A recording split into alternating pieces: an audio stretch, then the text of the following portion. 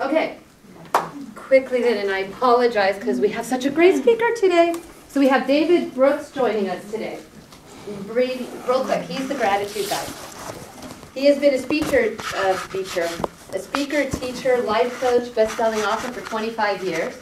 He's a former formal Nordstrom sales or store manager and has, man, has managed corporate world for over 30 years. His published books include the Brooker's Daily Gratitude Journal, Happiness Starts with Gratitude, and Gratitude Nuggets to Chew On. He was featured on New Day with Margaret Larson, QTV, and Chat with Women on a radio program with over 450 gratitude videos posted on YouTube. Thousands have seen his work and message. He is now considered a leading authority on gratitude and how living a life of gratitude can improve your life. So this will be a fun one. Thank you for being here. Thank you, Misha. thank you, Misha, and thank you, Isaac, for inviting me. I am a member of Seattle 4. Um, I'm also fortunate enough to do one or two or maybe three of these talks every week. So it's something I wanted to do my entire life is to be a speaker. But let me start out because I'm very punctual and like we're going to end up right at one. And I normally go about a half hour. So I'm going to kind of do a little condensed version here today. But let me start out with a question here. How many people here by show of hands have suffered a significant personal loss in your life? About 90%. So I get to talk to schools, I go down into junior highs, and I go to rest homes. I go everywhere from 17, 16, 17 to 90, 95. And it's quite a contrast. Now, as people get older, the hands tend to go more towards 80 or 90%, but almost every group I talk to, at least half the people raise their hand. And I want to tell you very quickly about the significant personal loss in my life. It was September 29th, 1998. It was a Tuesday. I woke up in bed and I looked over, and Dana, my wife, wasn't there. I thought, that's strange. I wonder where Dana is. And just then, Connor comes walking in, my four year old, where's mommy? I don't know. Let's see if we can find her. So we walk out and we go down the hallway. Kyle, my 14 year old, same question. We don't know. So we walk down and we look downstairs, and here's Dana down in front of the washer and dryer, all crumpled over, and it doesn't look good. So we go running down there, and I turn her over. There's stuff coming out of her mouth, and Connor starts crying. And, and I said, Kyle, go call the police, go call the fire, call everybody. And within a matter of minutes, there was probably 25 or 30 people in our house. Fire rescue police everything and they had they had her out on the floor they had those paddles and those big tubes and wires and everything. Most surrealistic thing i'd ever been through in my life. And what i noticed about it and again for those of you and i love doing these talks but now i'm almost getting more something i enjoy the people that come up and talk to me afterwards and tell me some of their stories that they don't want to tell in front of the group or or talk about unless it's just one to one but anybody that's gone through something like that will experience this, and that is time loses all measure. And I didn't know how much time had gone by, and I'm just trying to console Connor and myself and what has gone wrong with Dana. This short fire person comes over to me and says, Mr. Brooke, we've been working on your wife for an hour and a half. We still don't have a heartbeat. Do you want us to continue? And I just sat there. And even when you're in shock, the brain still works a little bit, I thought 90 minutes. And I said, no, you can stop. And she was dead. She was 38 years old. As Misha mentioned in the uh, intro, I worked at Nordstrom for a long time. I was a store manager. I had met Dana there. Wonderful, wonderful person. What made it so challenging for me, she was 38 as I mentioned, but that wasn't the first person I lost. Isaac mentioned he's an attorney. My father was a very prominent attorney in Seattle. I watched him in court many times. He committed suicide. My mom had died of cancer. Two friends died the night we graduated from Queen Anne High School, which is no longer. Fraternity brothers, it just went on and on and on. And at some point, I thought, you know what, I, I'm going to have to figure out how to deal with this. And within a couple of days after Dana died, I walked up on this deck we had. We lived by Green Lake. And I just remember pinching myself and thinking, gosh, I'm just flesh and bone. I'm just another person trying to get through life. And for the first time in my life, I understood why people killed themselves. I got it. Because just, it's just too much pain. We didn't live far from the Aurora Bridge. It wouldn't have been that hard to just walk over there, just step over. But within about five minutes, I made a decision I'm not going to do that. Connor, as I mentioned, is four. Kyle's 14. Now they've lost their mother. What should I go do? Go kill myself? I got to raise these boys. And I made that decision not to do it. But what I thought about is a lot of this depends on how you look at something. It really is. And just watching everybody here and Don and Dan and let me see, Bob and Skip and John, and just paying attention to people today. It's all about your attitude. Great attitude. That's what I love about Rotary. But I'd like you to all stand up, if you would, just for a second to just do a little brief exercise. Take your right hand and start turning it a clockwise manner. Now, if anybody's uncertain, there's a clock right there because we all we're a digital age now. But keep turning it clockwise. Keep feel that nice stretch after our great lunch. Thank you. And now start bringing it down. Keep it going clockwise. Just keep bringing it down slowly to your eyes, to your chin, to your chest, and to your waist. Now, what direction is it going? Count, thank you, Misha. Counterclockwise, so you can sit down. Thank you. Audience participation piece. Now it's going counterclockwise. I have PhD friends of mine that have seen me speak. What's the story on that circle thing? Do people like change midway? Like, aren't you a PhD? Didn't you like study? It, it, just depends if you look at it from above or below. It's my way of saying something other than the glass is half full. It depends on how you look at it. So I started realizing this as we kept going through this. We lost our house, we lost everything because Dana was addicted to painkillers. Vicodin, Oxycontin, all this kind of thing. So I realized that there was going to be some things I was going to have to come up with that kind of saved my life. I really felt that way, and I'd lost so many people. And of the 20 or 25 people that I lost, I'd say half of them were of their own hand. Prescription, booze, suicide, it's ridiculous. I know this life is challenging, but there's ways to get around it. And there's ways to deal with it. And now one of the real things I really discovered, I discovered gratitude, ended up doing a gratitude journal, which I'll talk about in a second. But I also realize it takes as long as it takes, and you cannot, and this was what, Don? Don had the, the comments that, is it Bob that had those written down? Bill. Bill, thank you. Phenomenal comments. Never compare your inside to somebody else's outside. There's all sorts of things. It's nobody's business. It's not, it's your, it's not your business what somebody else thinks of you. Phenomenal line. We have, and I get to go do commencement speeches, and I tell these kids, it's your journey. Don't look on either side. Figure out what your journey and your path is going to be. But there's got to be tools that can help you. And when I realized that it takes as long as it takes, I just turned 64. And I know some of you go, gosh, he doesn't look a day over 63. but, but it's gone by fast.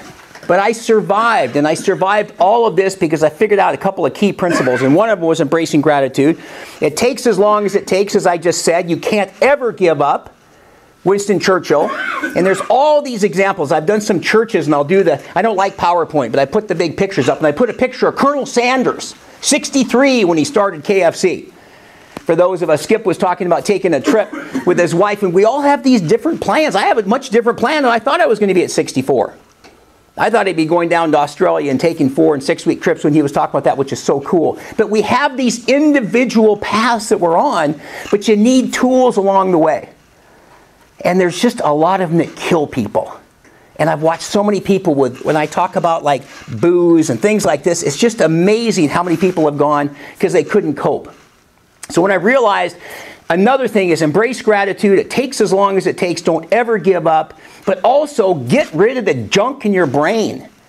You got to make room for gratitude. It's like cleaning house. And I'm going to ask you when you go out today, get in your car, notice how big this windshield is. It's about two feet deep and it's about five feet wide. And then notice how big the rearview mirror is. It's probably about 100 to 1 or 200 to 1, some relative piece like that. But keep that in mind. Now, if you see flashing blue lights here, you know, you got to pull over. You don't want to get in trouble. But mostly, focus on what's in front of you. And so it's just so important when I managed all these people, raising children. I've got the two boys, as I mentioned, and managing groups up to four or 500 employees at a big Nordstrom. It's the same concept. They follow the example that you set. They'll do what you do, not what you say. They'll do what you do. So I started thinking as I'm raising these guys, I'm going to have to get some things that are going to help. And so this buddy of mine says to me one day, You know, you're just a mess. I said, Well, Bob, you know, my wife died, and you know about everybody else that's passed on. You need to get a gratitude journal. And so, now who's ever heard of a gratitude journal? Anybody? Couple. Nisha, Bob, a couple others. Well, I hadn't. So I got a gratitude journal and I started writing in it and I started noticing just these amazing things happening. And it was four to five minutes a day. That's all it is. And again, as I'd watched so many people that had passed on, that I thought I'm going to have to figure out something like this and then end up making my own. And what I did on this, and I sell these, and I sell some other books I've written, but I don't even care. You can buy them, it's fine, but it's get a spiral notebook. It doesn't matter to me, but this is a healthy coping mechanism that can transform and change your life by in four to five minutes a day because it makes you focus on everything you have in your life versus what you don't have. And all you got to do is watch TV and read, and I know the media gets blamed for a lot of things, but everybody focuses on what we don't have. He's got a bigger boy. I got these fraternity brothers, and then one buys two feet longer, another two feet longer. It's the most ridiculous thing I've ever seen. And then I watched the Philip Seymour Hoffmans and Mick Jagger's girlfriend and these different people that seem to have it all. That doesn't work for them. So what I offer is this is an alternative. And normally I do a little exercise, and I'm not going to do it today because I don't have enough time. But one of the things is your daily number. And it says right here, gratitude today, the day, the date. This is March 26th. And then your daily number. 10 is the best day of your life, and 1 is maybe a tough day. And every day I give assign myself a number. I always write in the course every day. I, I came across on the ferry because I live in Seattle. And this is actually my journal, and I write. It takes five minutes every single day, and people will come up afterwards and they'll go, "Is this your journal?" And then they'll see it and they go, "Oh, you write in it every day." Did you hear the presentation? Were you like listening when I was? Of course I do every day. I have to set a good example. We just finished talking about that. But I want to tell you what happened one day and this is what this is what makes it so challenging for me is not only had all that happened to me, but my mother was manic depressive. And she, when I was at high school and then into college, she would call me and go, David, and she'd take pills and she'd shake these pills by the phone. She goes, I have these sleeping pills. I'm going to take these if you don't come and see me right now. So I'd have to leave, and we lived in Magnolia, and I'd have to go from the bookstore where I worked here at University of Washington to go see her. But I think I got a piece of that. And so every so often I've had days when it's been a challenge. Well, I'm not taking a pill. I can't. It killed so many people. It killed Dana. And I know there's antidepressants and all these things. People go, God, you don't look like you're depressed. I go, what do you want me to walk in, look like crap, and be crying in the corner? I mean, where's the speaker? Oh, I see there. He's sending him over there. He looks upset. Well, what am I supposed to do? So I decided that the journal and exercise and all these different things would help. But I woke up this day and I was a two. I was so down, I couldn't believe it. And I had to do a talk at the Burlington Chamber up north of Seattle. So I got my journal, I didn't take a shower, I went down to the uh, Starbucks and I wrote in my journal, it bumped me up to about four or five. So I felt better. Again, it's five or six minutes. And when I normally do the exercise, I don't tell people what to write, but it's typically my health and my friends and my family, and my kids. These things we just, I, I do a video, as Misha said, I do a video every single day on YouTube. It's always something new, and people go, well, how do you keep coming up with a new subject? Really? Gratitude? It's like a finite list? What happened to Brooke? He's at Starbucks staring at the wall. He's run out of ideas. And, and so when I thought about it, I thought, let me go do this thing and I'll feel better. So it was neat. There's about 200 people. And after it's done, people come up and they, they want to buy the books and sign it and all this kind of cool stuff. And this gal comes up. A lot of people get really emotional. She's crying and she says, Can I give you a hug? And I said, Yeah. And she gives me a hug. She says, My name is Janice. And she said, I said, she says, a couple of the stories you talked about. It was a little longer presentation, maybe 45 minutes. But you just changed my life. And I said, Well, you know, Janice, I don't think I really changed your life. I just think maybe I gave you a tool or some tools to work with. But nonetheless, she says, Well, thank you so much, and very emotional. And So I go out and get in the car, and I realized I was a nine and a half then. I had gone from a two to a four to a five to a nine and a half. I didn't take one pill, snort some powder, drink a beer, do anything else that has killed so many people that I know. And that is the power of a gratitude journal. And when I get to do radio every once in a while, the radio person always says, What's your, what's your final comment for the listeners today? I go, Just try a gratitude journal. So here's what I'd like you to consider. Just there's sort of these five things. Embracing gratitude is kind of the first module. And I do workshops for the state and different things for employees and people that don't have as good of attitude. Number one. Number two, it takes as long as it takes. Don't ever, please don't ever give up. It always gets better. The thing that makes me so irritated about my father, you've heard this before, it's a permanent solution to a temporary problem. This thing will help you get better. Number three, make room for it. Get rid of that crap. Get the junk out of your brain. Young kids, I talk about this all the time. We do things. We drive over stuff back to the, the uh, windshield, the rearview mirror, and then we pick it up, put it in front of it, drive over it again. And one of the things I've noticed is ex-spouses. Oh my goodness, that ex-husband of mine, blah blah blah blah. I go, Gwen, well, when did you get divorced? Ten years ago. Okay, I, I think it's time to move on. It's probably your life. And if you can, get a gratitude journal. I don't care if you get a spiral or whatever. But the last thing that I would offer is sharing gratitude. Because once you get something, you want to share it. So here's what I want to do very briefly. I'm going to give you guys 60 seconds. How many people here have a smartphone on them? Pretty much everybody. How many people have used their smartphone while they've watched me talking? That guy gets a book. That's an honest person. yeah, this guy's not too bad. Let me check my email. See what he's up to. I'm going to give you 60 seconds. I want you to text, tweet, tell, or telephone somebody in your life and tell them how grateful you are for it. I'm going to give you 60 seconds. Get those smart. So if you don't have one, it's okay. Let me just time this here. You can tell somebody you're sitting next to, Don. You can tell. Is it Randy? Are, is it? Isn't it Randy? Don? Oh, never mind. You can tell Randy how grateful you are for him. I was in the middle of texting my wife. Okay, as you're doing that, let me just mention a couple of things about that. So, I get to do big groups, and that's one of my favorite things the four T's telephone, text, tweet, or tell somebody how grateful you are. So, when there are groups and they're up front like this, and it's a big, I can always see a few people actually using it as a telephone. We've gotten so much away from this as a telephone. It's all text and tweet and Facebook and social media, and I've been to a million of those things as well. And yet, I always hear this happen. There'll be somebody down here. Yeah, uh huh. Like Dawn. I'm, i just want to. You're my. I want to tell you how grateful I am for you. Mm-hmm. How's it going? Yeah, just like that. And, uh, and then I heard this guy go, I don't know. Some speaker just told me to call and tell you that. You're ruining it. Gosh. But the reason I feel so, so good job. What's your name? Walt. Walt. Good job, Walt. The reason I feel so strongly about when you get something you're excited about, I, I run those fancy Nordstrom stores, I ran Lowe's Home Improvement. Nothing can compare to what I get to do now. If I affect one life today, that's one more that it was affected yesterday.